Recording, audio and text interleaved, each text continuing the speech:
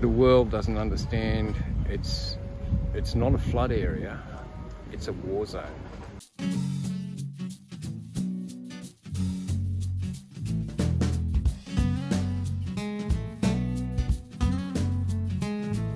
Hello and welcome to Grizzly and Bear Overland with Lee and Steffi in Australia. We are currently traveling on and off with Lee's parents, Jill and Viv. In last week's video, we arrived at our friend's place to celebrate Lee's 40th birthday.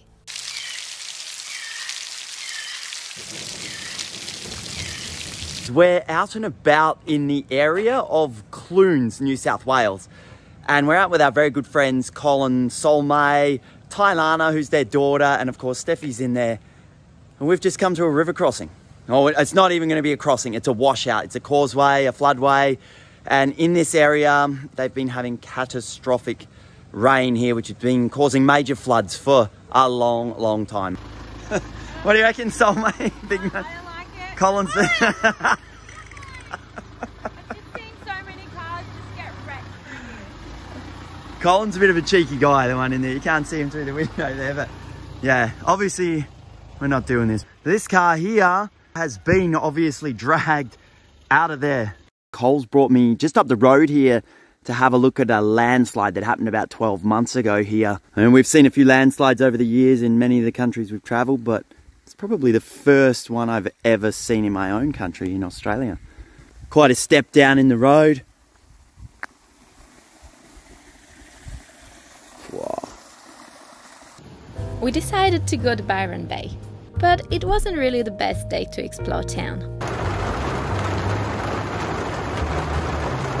With all the rain, we have to put a plastic on the bed because we've got a condensation. Also because all the windows are very soaking wet, so we protect the mattress with a bit of plastic. We had a really good time with our friends. It was eight years since we last saw each other at our wedding in Thailand. But it was like yesterday. Except for the kids, growing up so fast. We're gonna go and leave our beautiful friends. They go to work. Before leaving, we collected our gear that we sent from Japan to their place two years ago.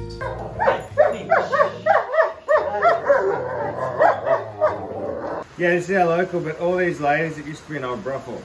Oh, really? there you go. So read the, read the history of it. awesome. Can we give Lee a cuddle? Bye bye bye.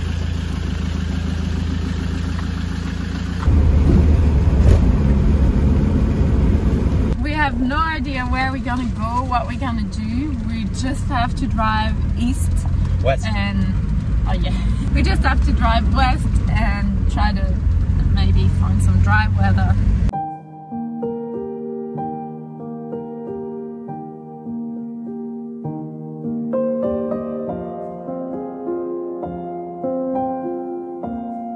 We're now in the town of Lismore. These guys have been hammered this year in this town and all of these surrounding areas by torrential rain, which led to catastrophic floods. We feel a little bit awkward to film. Just wanted to talk about it and recognize what did happen here and what the people are going through.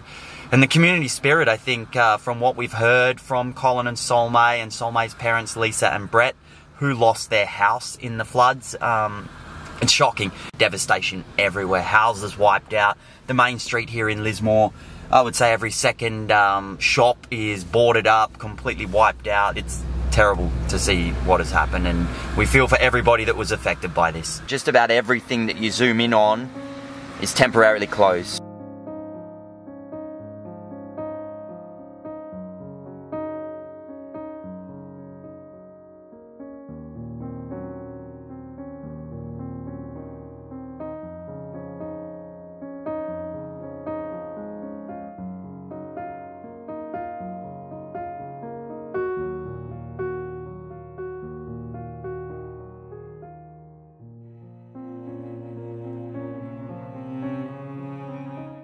Just got them washed. Otherwise, it would have all gone to landfill.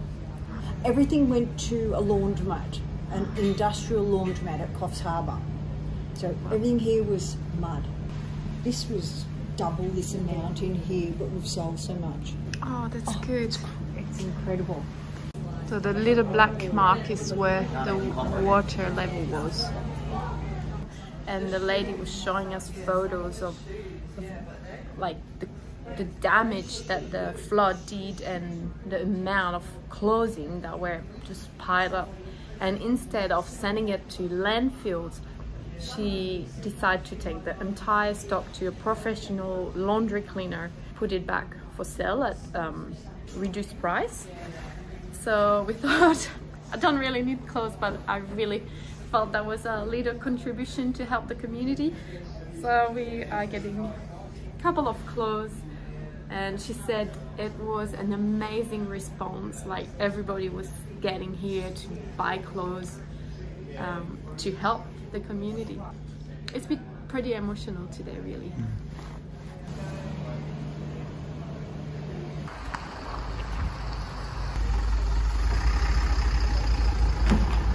It started on the 27th. I could see the water rising.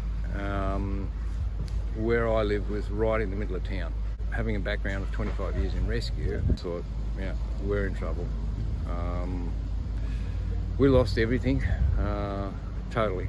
Everything was gone, covered in oil and mud and stuff. And Nothing was salvageable. So I just decided uh, I'm in retirement, but um, the place needs someone with a bit of knowledge and direction. Uh, I come down here to the Koori Mail, which is uh, the indigenous uh, people of Lismore, and they took me on as a uh, site coordinator, medic, uh, gopher, clown, um, everything. And um, I try to keep people's spirits up um, and organise logistics. We are running short now because the 12 hour news cycle is gone. Uh, we're, we're the forgotten place. It's been a mammoth task. The kitchen here alone has cooked 155,000 meals. Unbelievable. Feed the community, and that's all been mainly from donations of food and stuff from you know big companies. Unfortunately, we're, we're, we're having to dig into what little funds we have, which is not very much. But we're going to have probably up to nine years recovery. It's, it's that bad, and it's just it's heartbreaking because this is my town. Yeah, and you know, with, without the donations coming in, it's, it's just going to die. And a lot of people have moved out of the area, uh, which I don't blame them because there's too many sad things that have happened. Yeah, it's without the community spirit and keeping everybody going, um, Lismore will die. It's a special hut. An old guy who has arthritis made that for me. Oh. Right, right, like that like that, like that. Oh wow, there you go. and he said to me, he said, you have a very smart mind. I said, don't ask me to put it back together. Yeah. uh, we have a GoFundMe page. It's called the Koori Mail uh, Bundjalung Community Relief Fund. You can go onto the GoFundMe website, you can search Koori Mail and you can make a donation that way and that money goes uh, back into supporting the Indigenous communities that have been affected by the floods.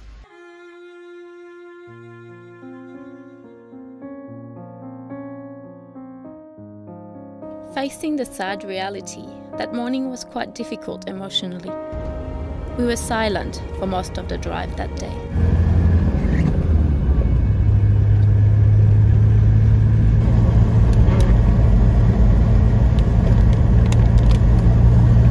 We're in the little town of Urbenville and it's still raining. The plan was to head to the west. Been looking at weather forecasts, radar forecasts, and it looks like if we just keep heading inland, just keep going, eventually we'll be out of the rain. We found a free campsite with toilets on Wikicamps. However, it might be tricky to find a place to camp. We plan to stop here for a few days to catch up on some work editing videos.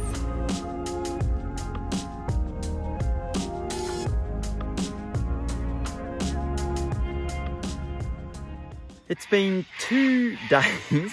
Wow. That's a cockatoo, I think. They're noisy buggers.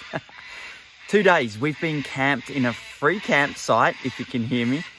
and we came out here to try and escape the rain. And to be honest, it has been better than on the coast. We've had fairly constant drizzle, but um, not torrential rain. And today we're going to head back and uh, hunt down mum and dad and stay in a campsite for a couple of days.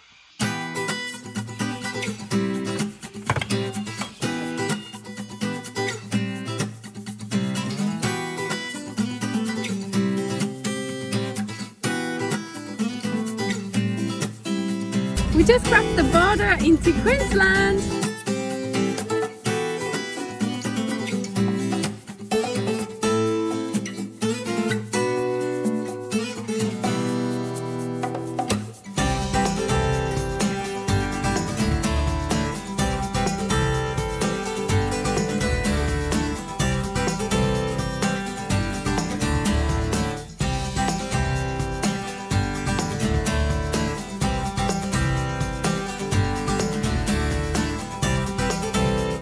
Afternoon is a big cleanup happening. We are really like, it's very cluttered inside the car and the camper, so we're taking everything out. With all the rain, we've got a lot of uh, mold issue as well, so we're gonna do big cleanup. It should do the trick. Smells like a swimming pool in here. Better for it to smell like a swimming pool for a couple of hours than for it to smell like a moldy camper. Thank you for doing that. We had similar thing happening in Japan last year when we had a lot of rain. But overall, I mean, this canvas is eight years old and we open it and close it every day. Overall, it's in good condition for full-time living. So we often talk about this in our videos, how important it is to be minimalistic. And I think uh, essentially we are. I mean, everything we own in the entire world pretty much is in our grizzly and bear. But every six months or so, we will try and do one of these massive blitzes. And the reason is you do accumulate stuff. Today is the day that we decided to just do this huge blitz. And like Steffi mentioned, the mold issue, everything was accumulating. Um, and another big thing was we went to our mates Colin and Solmays and we'd sent a box there two years ago. So now we've got like double the rock climbing equipment, everything. So Also, what? we made a decision. We're gonna leave the kayak behind. You're wondering why I've got a 27 millimeter socket.